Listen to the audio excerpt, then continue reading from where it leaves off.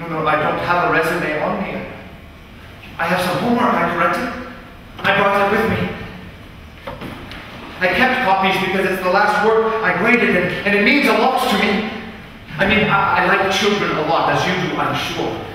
It's perfectly understandable that you wouldn't want to entrust them to just anyone. Right. Fine.